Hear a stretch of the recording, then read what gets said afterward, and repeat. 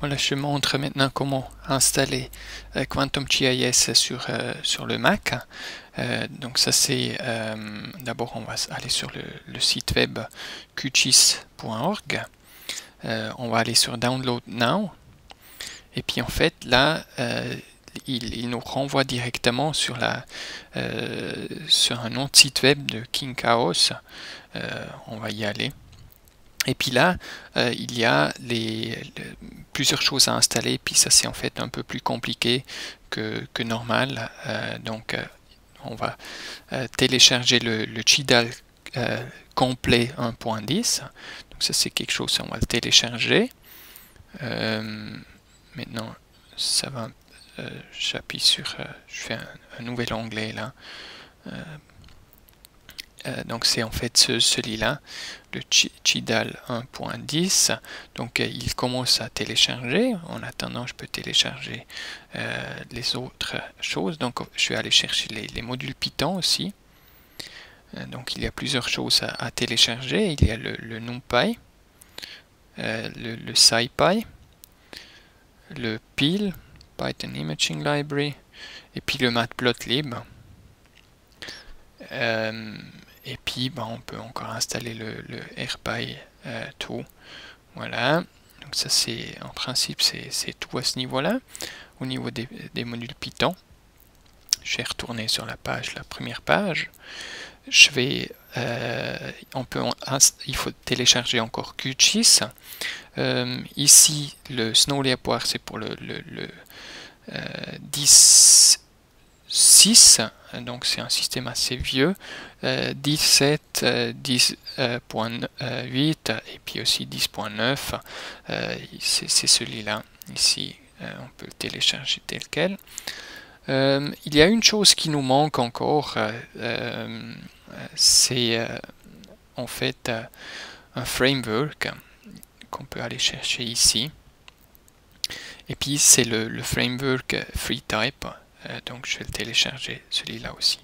Donc on a toute une série euh, de choses qu'on a téléchargées. Le reste, on n'a pas besoin, euh, ou bien ils sont déjà inclus dans des frameworks qu'on a avant. Donc on va, une fois qu'on a terminé avec l'installation, avec le téléchargement, pardon, on peut sortir ici. Moi je vais aller chercher dans les downloads donc il y a tout qui, vient là. Euh, je vais sortir euh, sur le bureau, comme ça on peut récapituler les choses. Voilà. Ok. Le JDAL complete. Le free type ici. Le SciPy. Et puis il y a deux qui sont encore en train d'être téléchargés. Euh, je les laisse finir. Et puis je commence l'installation. Donc je vais commencer par le Chidal Complete, ici. Voilà, on le monte.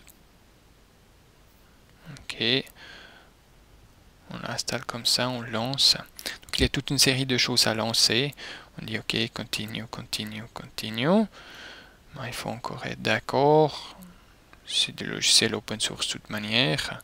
Et puis après, ben, euh, il faut installer ça sur tous les pour tous les utilisateurs de l'ordinateur. Voilà, continue.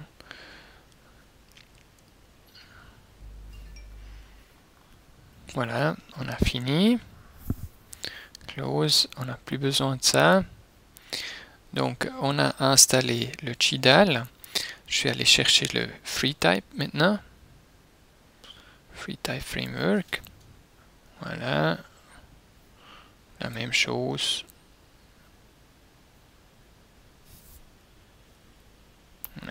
fini. Plus besoin. Et puis après, je vais prendre le NumPy.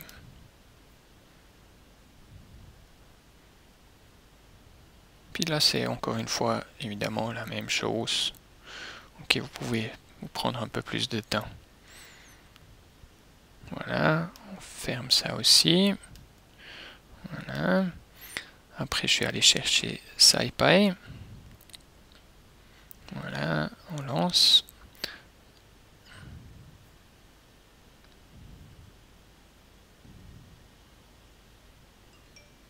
Voilà, ça aussi c'est bon. Après, je vais chercher le pile. Voilà.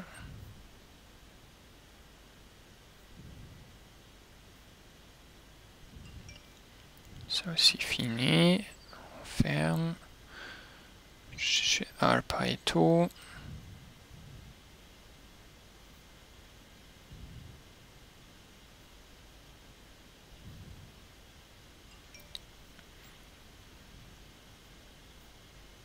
Voilà.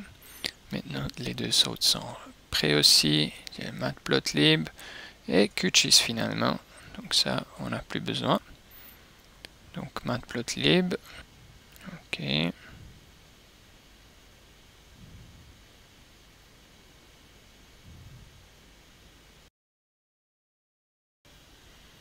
Voilà. Et finalement Quantum GIS. Et puis, euh, bon, il faut vraiment lire ça avant. Voilà, donc si on a un vieux QGIS.app dans nos nos applications, mais il faut euh, l'enlever. Donc on va aller faire ça. Donc euh, moi j'ai un vieux QGIS, je vais l'enlever. Ok, et puis maintenant on peut y aller. On a tout fait.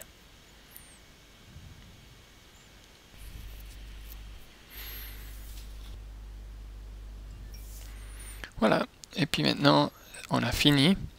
Donc je peux fermer ça.